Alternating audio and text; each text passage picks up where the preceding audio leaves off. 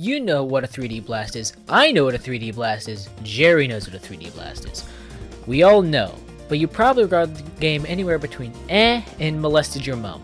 Between the isometric perspective, unconventional goal, and the tendency to twist the nips of anyone who plays it, people do not look back on this game very fondly. But what if I were to tell you that, they that they were wrong and they were stupid and I'm in your house? What if I were to tell you that Sonic 3D Blast is an unrefined gem? So to start this discussion, I want to set some common ground with you scum and complain for a bit. Sonic 3D Blast carries over inconveniences from the classics that I'm not too fond of. I never liked how you had to jump onto a spring instead of actually being able to run into them. It would only make it easier to maintain momentum and convert it into vertical velocity while also opening up options in player agency. As is, unless you're pixel perfect, you usually end up having to slow down to use a spring or slam into the side of it like an idiot. This carries over into 3D Blast and I'm not super jazzed about it. Another thing is that how you can have to roll into the side or jump onto a monitor to break it. I know this sounds really bitchy and annoying, but it's really annoying to jump into the side of a monitor and have nothing happen. Like, the classics don't even have this problem. As long as you touch a monitor in a ball form, you can break it. Now granted, it stunts your momentum, which feels pretty shitty, but I just wish you could blast through it at high velocities, which but that's nor here nor there. The Badnik hitboxes also feel a bit small, and enlarging them would probably be the best option to make it easier to destroy them, and having small platforms in an isometric game is just an asinine idea, and anyone who coded that in should be sent to the depths of hell right next to George Clooney. Also, the shields legit miff me. Okay, so there's a normal shield, which is fine, you know, it works like it's in Sonic 2, you can tank an extra hit. And then there's a homing attack shield, which the homing attack should already be a normal move in the game if you ask me, which just renders the original shield fucking useless. So why is the blue shield in the game? It doesn't do anything. It would be better if its development hours were to be spent towards, I don't know, maybe another shield or an air dash for the fire shield, or maybe a goddamn save feature! Easily my biggest gripe with the game. Because in a post-Sonic 3 world, there is no excuse not to have a save feature in your Sonic game. Like, if I want to play Diamond Dust, I should be able to just play Diamond Dust instead of having to play through the whole game to then play Diamond Dust. Okay, so this is weird, right? In the original Genesis games, you can collect as many emeralds as special stages you can enter per act. I like this. It rewards players who are skilled and knowledgeable, but it doesn't make it easy for new players to get the emeralds. But in the Saturn version, you can only get one emerald per act which I feel limits the player in a way that's kind of unfair to the player, but that's fine. It's cool. It gives you another opportunity to get an extra life, which are few and far between in this game. But and then in Director's Cut, you can only get one emerald per zone. There are seven zones in the game. You have to get one emerald every zone, and on the last zone, Tails is just hidden away in Robotnik's belly. You can say it so you don't get all the emeralds before seeing the harder special stages because of how Knuckles and Tails have different sets of special stages, so you can play through the first four of one and three of the other. But then I'd say, why doesn't the player get warped to a special stage that corresponds to their emerald amount instead with how many they played with that character? It doesn't make any sense. Now you'd think after all that complaining that I dislike the game, and to that I'd say you probably have short-term memory loss. I mean, look at the title, numbnuts. Now the first major complaint that people levy against the game is its controls, saying they're slippery, and to that I'd say it's, it's this is just momentum. You know the funny word everyone loves, momentum? This, this is real Sonic momentum. You can't just turn on a dime. Now the controls are made tighter in Director's Cut, which I appreciate, but in the original they were still pretty good. Once you get used to them, you can maneuver Sonic very easily through these levels, and it just feels good. This is 3D Genesis Sonic. Something I don't often see pointed out is how hands-off the game is, in, as opposed to other 3D games. While loops are automated, everything else is completely hands-off. Look at the springs. Even in the adventure games, which I'm not knocking by any means, but once you jump onto a spring, you don't gain control until you're falling. In this game, it's not the case, and it feels fantastic. Something else neat is how the bosses are actually challenging. All they really had to do is change it so you have to hit the glass of the Eggmobile instead of just anywhere on the Eggmobile, which makes the battles more fair. The only bad boss here I think is Volcano Valley, because the perspective makes it hard to land on the thin pipes to hit Eggman. The game only has one playable character, which is understandable for the franchise's first leap into 3D, even if it's not real 3D. Director's Cut does add Super Sonic, which is very appreciated though.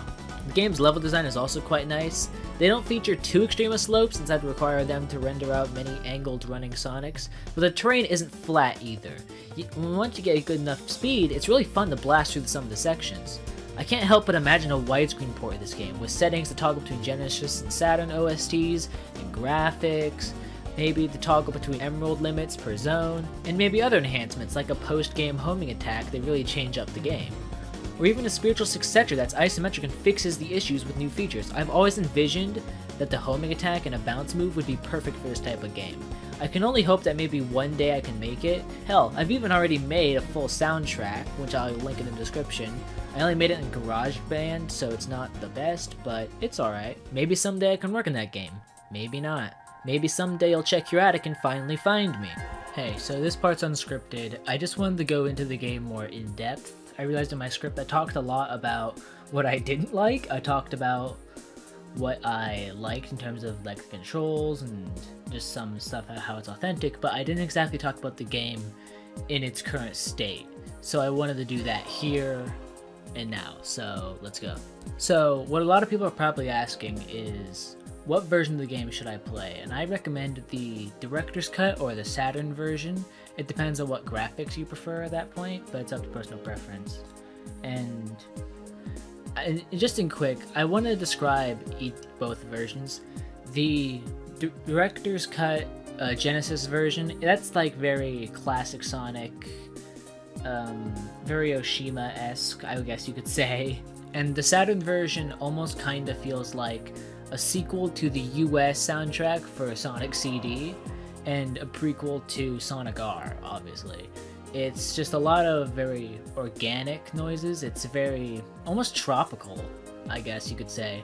And I actually really enjoy it. I prefer the Saturn version, and I really hope someday we can get a more accessible way to play that instead of the Genesis original. Not Genesis, Saturn original. But with that, I wanted to talk about the specific stages now. Green Grove is definitely a great Green Hill esque tropical paradise. It's just this fun little zone you get to run around in. You get introduced to all the mechanics. It's just this cool little area. It's fun. I don't know what else to say about it. Rusty Ruin is a bit of like a. It's not a slog like Marble Zone is. It's uh, it's like the Marble Garden. All right, it's it's kind of long. You kind of wish it was over by the end of it, but there's nothing really wrong with it. It's just a fun zone.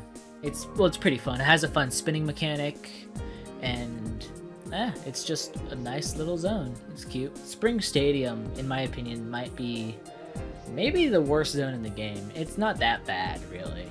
It's just kind of annoying. There's a lot of like spikes in the ground. There's a lot of springs, but like you can tell like the way the springs were managed. It's like four springs and only like the top right one is actually a real spring.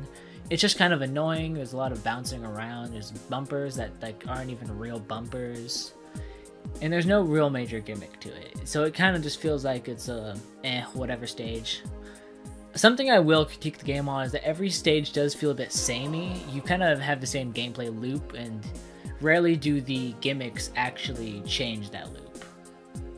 And next up is my favorite zone, Diamond Dust Zone. I really enjoy this zone. It's just this cute little snow level. It has great music across both versions. I maybe someday I'll talk about Sonic soundtracks and I'll spotlight the specific songs in these soundtracks because I love both soundtracks. And Diamond Dust Genesis is just like a fantastic song. Um, it has this great freeze frozen mechanic that's actually very similar to Sonic Mania. You sort of get frozen and you can slide around and you bounce off the walls. Something I didn't talk about is that when you roll into a wall, you bounce off of it, which I think is really fun and I wish was carried over into the actual 3D games. I think it's just, you can get a lot of use out of it. You can bounce off walls. It's really cool for like some nice little spectacle moments in the level design. It's just fun, and the ice is kind of like that. Next is Volcanic Valley, which is like Diamond Dust. It's good, it's just not as good. I didn't enjoy it as much. It's definitely a fire level, so there's lots of lava, there's lots of fire, and if you don't have a fire shield, it can be pretty frustrating. But the fire shields are easy to come across if you know where to look for them, and they're pretty common. And in this game, people talk about you get hit all the time. You don't get hit all the time in this game, so it's pretty easy to hold on to the shield if you're cautious enough. And with the shield, it's a pretty fun level. Next is Gene Gadget Zone. This is an alright zone. It's kind of like iffy from this point on, it's the mechanic levels of the game. You know, it's like Eggman's Lair is where we're at, and it's nice. It's nothing special. Same with Panic Puppet. Um, Act 2, you don't have to collect flickies, which I think makes it one of the more fun acts of this, the game.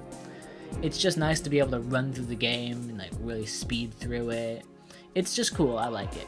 The final weapon, and which is the final fight, it's just this kind of pedantic final fight. It's really anticlimactic. It's more like five or six fights, if I recall, but you just like alternate between them every time you hit them. It's annoying. I'm not a big fan of it, and I feel like even like a Death Egg equivalent, which and I know the robot is definitely a spinoff of the Death Egg, but I feel like it would have been better if it was something like that. And that's it. That's me talking about all that. Uh, that's like a half the video now. But I hope you enjoyed it. I'm not going to be editing this portion as you probably noticed that much. It's just going to be the background footage. And uh, I hope you have a good day. See ya. That's all I could think of for the subject for right now. I'm sorry for the lack of uploads. Actually, no, I'm not, but that's nor here nor there. Um, since the JoJo iceberg, my mental health has really plummeted, and I just wasn't in the shape to work on much of anything. So with that, have a good day, and I'll see you next time.